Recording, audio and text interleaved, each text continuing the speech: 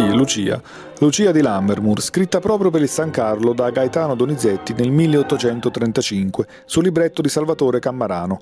Torna nel suo teatro dopo oltre 60 edizioni, stavolta con un allestimento affidato a Gianni Amelio, regista cinematografico la cui sensibilità ha l'ambizione di raccontare una storia fatta non di personaggi, ma di persone. Si torna dunque alla tradizione, vista come valore, in un periodo in cui si tende invece ad accentuare aspetti singoli, come l'intervento registico oppure di un solista, che spesso però, come risultato, appaiono inutili forzature. Non mancheranno i momenti in cui Amelio ha lasciato la sua impronta particolare, a cominciare dal passaggio nel primo atto fra le tinte fosche all'arpa che preannuncia l'arrivo di Edgardo, ma scopriremo quali sono soltanto a sipario aperto ed in un contesto sempre pensato per una forma stretta di comunicazione fra tutte le parti di cui si compone l'opera. Il vero cinema di questa opera sta proprio nella eh, sensazione di verità eh, legata al testo eh, originario della Lucia di Lammermoor, per come è stato messo in scena Gianni Amelio.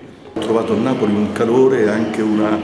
volontà di fare che altrove non c'è. il San Carlo è un po' una conferma di tutto questo perché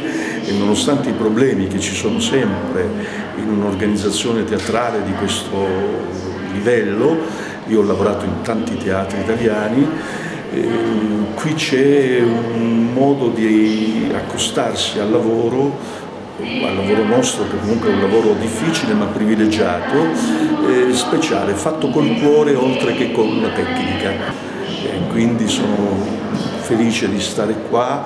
e devo dire tutto mi risulta più facile se lo faccio qua. Un cast di prima qualità, dal canto di Jessica Pratt e Gianluca Terranova al podio di Nello Santi, dalle scene di Nicola Rubertelli ai costumi dalle luci di Maurizio Millenotti e Pasquale Mari. Un altro aspetto particolarmente significativo di questa Lucia è che sarà tutta interamente targata San Carlo, perché realizzata dagli artigiani dei laboratori del teatro, quelli che state vedendo a San Giovanni a Teduccio. Un grande Nello Santi e poi Gianni Amelio, grande regista,